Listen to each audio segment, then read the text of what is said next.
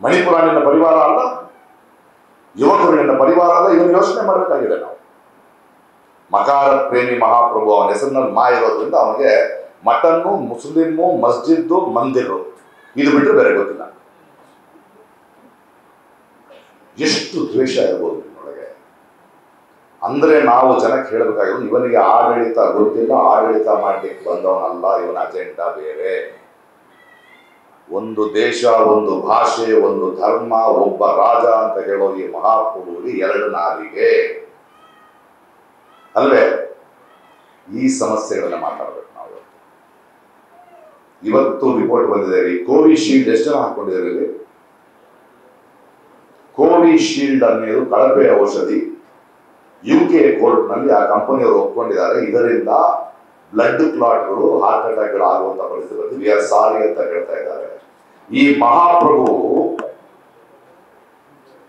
Covid ಟೈಮ್ನಲ್ಲಿ ಆ ಔಷಧಿ ಕಂಪನಿಗಳ ಜೊತೆ ಎಷ್ಟು ಸಾವಿರ ರೂಪಾಯಿಗಳ ಬಾಂಡ್ ತಗೊಂಡು ಕಳಪೆ ಔಷಧಿಗಳಿಗೆ ಪರ್ಮಿಷನ್ ಕೊಟ್ಟೆ ಕೇಳಬೇಕಾ ಬೇಡ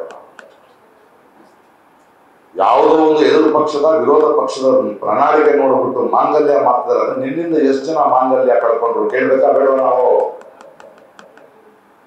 ಸತ್ಯಪಾಲ್ ಮಾಲಿಕ್ ಇವ್ರ ಜೊತೆ ಇದ್ದ ಒಬ್ಬ ಗವರ್ನರ್ ಹೊರಗಡೆ ಬಂದು ಹೇಳ್ತಾರೆ. ಪುಲ್ವಾಮಾದಲ್ಲಿ ಯೋಧರು, ಅವ್ರು ಹೋಗೋ ರಸ್ತೆ ಸ್ವಲ್ಪ ಡೇಂಜರಸ್ ಆಗಿದೆ. ಅವ್ರಿಗೆ ಹೆಲಿಕಾಪ್ಟರ್ ಕಳಿಸ್ರಿ ಅಂದ್ರೆ ಬೇಡ ಸುಮ್ಮನಿರು ಅಂತ ಮಹಾಪ್ರಭು. ಹೊರಗಡೆ ಬಂದು ಹೇಳ್ತಾ ಇದ್ದಾರೆ ಅವರು. ನಮ್ಮ ದೇಶದ ಯೋಧರಿಗೆ ಕಳಿಸೋ ಹೆಲಿಕಾಪ್ಟರ್ ಇಲ್ಲ. ಇವನ ಪಾರ್ಲಿಮೆಂಟ್ನಲ್ಲಿ ಸೆಂಗೋಲ್ ತಗೊಂಡು ಹೋಗೋ ನಾಲ್ಕು ಮಠಾಧೀಶರಿಗೆ ಕಳಿಸಕ್ಕೆ ಏರ್ ಏರ್ಪೋರ್ಟ್ ಇದೆ ಹೆಲಿಕಾಪ್ಟರ್ ಇದೆ ಈ ಮನುಷ್ಯನಿಗೆ. ನಾಚಿಕೆ ಮಾನವರಿಗೆ ಗೊತ್ತಿಲ್ಲ ಅನ್ಕೊಂಡಿದ್ದಾನೆ ಮನುಷ್ಯ. ಮೊನ್ನೆ ಬಂದು ಹೇಳ್ತಿದ್ದಾರೆ, ಇಲ್ಲಿ, ಕಲ್ಯಾಣ ಕರ್ನಾಟಕದಲ್ಲಿ. ಏನಂತ ಭಾಷಣ? ಒಬ್ಬ ಮಹಾಪ್ರಭು ಹತ್ತು ವರ್ಷ ಆಳದ ಒಂದು ಭಾಷಣ. ನಾನು ಮಂದಿರ ಕಟ್ಟಿದೆ, ನಾನು ಇನ್ವಿಟೇಷನ್ ವಿರೋಧ ಪಕ್ಷಗಳಿಗೆ ಕೊಟ್ಟೆ, ಅವ್ರು ಬರಲಿಲ್ಲ. ಐನೂರು ವರ್ಷದ ಹೋರಾಟ ದೇಶದ್ರೋಹಿಗಳವರು ಅಂತಾರೆ. ಯಾಕೆ ನಿಮ್ಮ ಪ್ರೆಸಿಡೆಂಟ್ ಜೆ ಪಿ ನಡ್ಡಾ ಬರಲಿಲ್ಲ? ದೇಶದ್ರೋಹಿನಾ? ನಿನಗೆ ಧೈರ್ಯ ಇದ್ರೆ ನಾಲ್ಕು ಜನ ಮಠಾಧೀಶರು, ಕಂಚಿ ಮಠಾಧೀಶರು ನಾವು ಬರಲ್ಲ ಅನ್ನೋದು ಅವರ ದೇಶದ್ರೋಹಿ ಅಂತ ಕರೆಯೋಣ ಎಲ್ಲಿ ಬೇಕಾದ್ರೆ ಮಾತಾಡೋದು ಎರಡು, ನಾಲ್ಕು ಮಾತಾಡ್ತಾನೆ ಹೋಗ್ಬಿಡೋ. ನ್ಯೂಸ್ ಫಸ್ಟ್ ನಿರ್ಭೀತಿಯಿಂದ ನಿಮ್ಮ ಪರವಾಗಿ.